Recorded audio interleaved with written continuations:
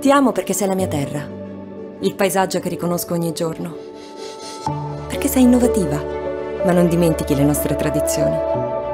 Ti amo perché sei parte della nostra democrazia, della nostra storia, voce della mia comunità.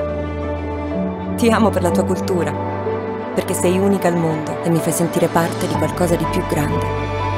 Ti amo perché con te abbiamo affrontato ogni emergenza, perché abbiamo fatto tanto e possiamo fare ancora di più. La mia regione, parte del mio paese. L'Italia. Da 50 anni abbiamo tante regioni per amarla.